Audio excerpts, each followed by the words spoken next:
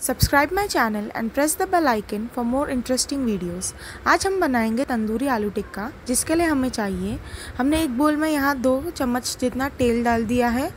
फिर उसके बाद हम सारे सूखे मसाले डालेंगे। जितने भी मसाले डालूँगी, वो मैं आपको डालते डालते ही बता दूँगी कितनी क्वान्टिटी है।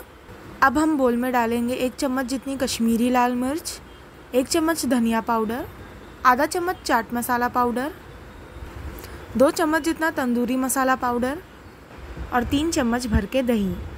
फिर हम डालेंगे हमारे अनियंस और कैप्सिकम क्यूब्स में कट किए हुए। उसके बाद हम दो बॉइल्ड आलू को क्यूब्स में कट कर लेंगे और इसमें डाल देंगे। ये पूरी चीज़ों को हम अच्छे से चम्मच से या हाथ से अच्छे से मिक्स कर लेंगे। उसके बाद हम एक छोटी कटोरी लेंगे, जिसमें आधे चम्मच जितना घी डालेंगे और उसमें एक कोयला बर्न करके डाल देंगे। ये हमारे पूरे बोल को हम 10 से 15 मिनट तक ढक के रखेंगे। उसके बाद हम बड़ी स्टिक्स लेंगे, जिसमें हम पहले शिमला मिर्ची डालेंगे। उसके बाद हमारा क्यूब अनियन फिर आलू, और ये पूरे प्रोसीजर को हम रिपीट करेंगे स्टिक में। हमें स्टिक में अच्छे से टाइटली सारी चीज़ों को डालना है, ताकि वो निकले ना बाहर।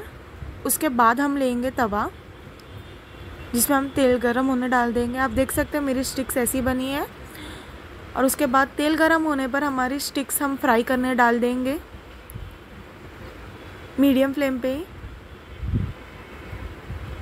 हमारी स्टिक्स अच्छे से फ्राई हो रही है।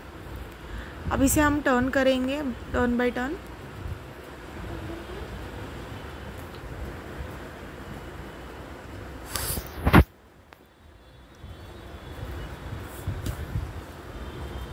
हमारे तंदूरी आलू टिक्का अच्छे से हो चुका है। अब इसे हम प्लेट में निकाल के सर्व कर देंगे।